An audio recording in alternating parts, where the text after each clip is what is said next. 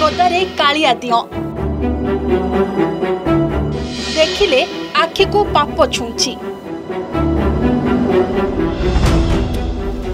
ହେଲେ ଯିଏ ରଖିଛି ତାକୁ କିନ୍ତୁ ଧର୍ମ ସହୁଛି। ପୁଣି ଥରେ ଅପମାନିତ ହୋଇଛନ୍ତି ଓଡ଼ିଆ ଜାତିର ଆରାଧ୍ୟ ମହାପ୍ରଭୁ ଶ୍ରୀ ଜଗନ୍ନାଥ। ସେଦିନ ଗାଡ଼ି ପଛରେ ବନ୍ଧା ହୋଇଥିଲେ। ଆଉ ଆଜି ଅଳିଆ ଭଳି ଛାତ ଉପରେ ଖରା ବର୍ଷା ଖାଉଛନ୍ତି। ଆମ କାଳିଆ ସାନ୍ତେ ଏ ଦୃଶ୍ୟ ପୁଣି କେହି ଅଜାଣତରେ ବା ଭୁଲ କ୍ରମେ କରିଦେଇନାହିଁ ବରଂ ଜାଣି ଶୁଣି ଜିଲ୍ଲା ପ୍ରଶାସନ ଏଭଳି ଭିଆଣ କରିଛି। କଳା ଠାକୁରଙ୍କୁ କୌଣସି ସଭାରେ ସଜେଇ ରଖିବା ପରେ ଅଳିଆ ଭଳି ଫିଙ୍ଗି ଦିଆଯାଇଛି। ମହାପ୍ରଭୁଙ୍କ ସାଥୀ ପାଲଟିଛି ଜିଲ୍ଲା ପ୍ରଶାସନର ଗୋଟିଏ ଭଙ୍ଗା ଚୌକି। ଆପଣଙ୍କ ସମ୍ମୁଖରେ ଥିବା ଏ ଦୃଶ୍ୟ ହେଉଛି ବୌଦ୍ଧ ଜିଲ୍ଲାପାଳଙ୍କ କାର୍ଯ୍ୟାଳୟ ପରିସରର। ଯାହାର ଫାର୍ଷ୍ଟ ଫ୍ଲୋରରେ କୌଣସି ଦୋଷ ପାଇଁ ଦଣ୍ଡିତ ହେଉଛନ୍ତି ଏ ଜାତିର ଇଷ୍ଟ ଦେବତା।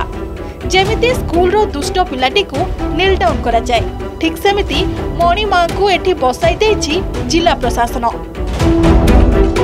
ଜିଲ୍ଲାପାଳଙ୍କ କାର୍ଯ୍ୟାଳୟ ଯେଉଁଠି ଜିଲ୍ଲାର ଯାବତୀୟ ସୁବିଧା ଅସୁବିଧାର ତର୍ଜମା ହୁଏ ହାକିମ ନିଷ୍ପତ୍ତି ନିଅନ୍ତି। ହେଲେ ନିଷ୍ପତ୍ତି କେଉଁ ହାକିମ ନେଇଛନ୍ତି ତାକୁ ନେଇ ସମସ୍ତେ ଏବେ ସନ୍ଦେହ ଘେରରେ।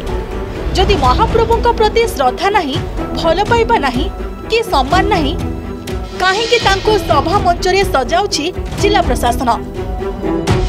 କଣ ପାଇଁ ବେକରେ ଖଣ୍ଡୁଆ ପକାଇ ପ୍ରହସନ କରୁଛନ୍ତି ବଡ଼ ବଡ଼ ହାକିମ ଆଉ ବାବୁ ଭାଇଆମାନେ? ସେଦିନ ଟ୍ରକ୍ ପଛରେ ବନ୍ଧା ହୋଇଥିବା କାଳିଆ ସାନ୍ତଙ୍କ ପାଇଁ ଭୁଲ ମାଗିଥିଲେ ଟେଣ୍ଟ ହାଉସ୍ ମାଲିକ।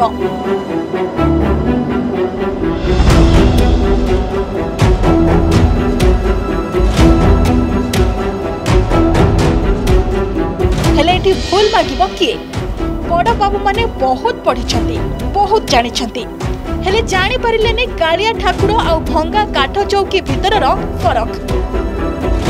ଅପେକ୍ଷା ଏ ଅପରାଧ ପାଇଁ କିଏ ଭୁଲ ମାଗୁଛି? କିଏ ମିଲ୍ ଡାଉନ୍ ହେଉଛି ଓଡ଼ିଆ ଜାତି ପାଖରେ। Bureau report Argus news.